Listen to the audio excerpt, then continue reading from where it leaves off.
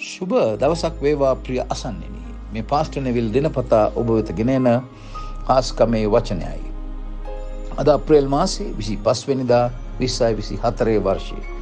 ජේසුස් ක්‍රිසුස් වහන්සේගේ උතුම් වූ නාමෙන් මම ඔබට පළමු ආසිරිගෙනනවා ක්‍රියාදර දර්විනි අද ජීවනයේ කෑම ක්‍රියාපොතේ පළවෙනි පරිච්චේදේ හයවෙනි සහත්වනි වගන්තියෙන් මෙනෙහි කරන්නට යන්නේ අපේ තේමාව මේ අප්‍රේල් මාසේ උත්තාන වූ ජේසුස් වහන්සේව හඳුනා ගැනීමයි.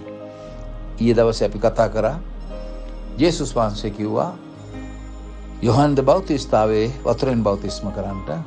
නමුත් තව නොබෝ කලකින් නොබලා ශුද්ධවාත්මයෙන් බෞතිස්ම වෙන්ට යන බව සඳහන් කළා.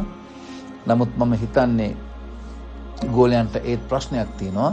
වැදගත්ම ප්‍රශ්නයක් ඔුන්ගේ ජීවිතේ. මමත් හරි ආස කොටසක් බයිවලේ මේ හයවෙනි සහ හත්වෙනි වගන්තිය.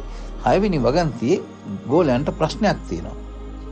එයින් ඔහු රැස්සූ විට ස්වාමිනි මේ කාලේදී ඔබ ඊශ්‍රයිල්ට රාජ්‍ය නැවත පිහිටුවන සේක් දැයි උන්වහන්සේගෙන් නැසුවයි. ඉතින් මේ අය ප්‍රශ්න කරනවා ජේසුස් වහන්සේකින් ජේසුස් වහන්ස අපිට නිකං හිතෙන්නේ මේ දෙවියන් වහන්සේගේ අරමුණ සම්පූර්ණ වෙලා නෑ ඉටු වෙලා නෑ වගේ මොකද ඊශ්‍රයිල්ට ඔය කවදාද මේ නැවත රාජ්‍ය දෙන්ට යන්නේ. හත්වෙනි වගන්තිය උන්වහන්සේ උත්තර දීලා කියනවා පියාණන් වහන්සේ තමන්ගේම බලය යටතේ තබාගත් කාලයන්ද ප්‍රස්ථාවන්ද දැනගැනීම නොබලාට අයිති නැත කියලා.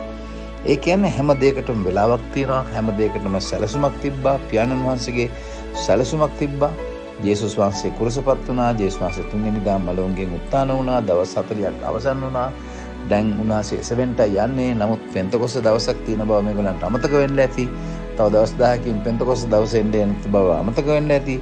නමුත් එයාට ලොකු ප්‍රශ්නයක් තියෙනවා. මොකද්ද ප්‍රශ්නේ? ප්‍රශ්නේ තමයි ඊශ්‍රායල්ට රාජ්‍ය නැවත පිහිටුවන්නේ කවදද?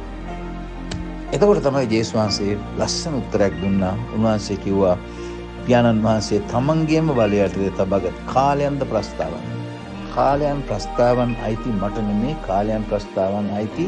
තාත්තට තාත්තගේ ඒ දවස්වලට ඒවා හරිද විදිට සිද්ධ වෙනත්තම් තව දවස් දායකින් පෙන්ත කොස දවසට නෙයි ඊට පස්සේ සභාව හටගනි.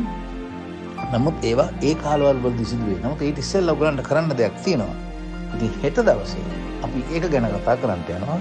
ඔබ කරුණා කරලා කියවන්න. 6 7 8 9 කියවන්න. දෙවියන් වහන්සේගේ සැලැස්ම මොකක්ද කියලා උන්වහන්සේ අපිට එතකං මොනවද කරන්න යන්නේ? ජේසුගේ දෙවන පැමිණීමට අපි ලැස්වෙන්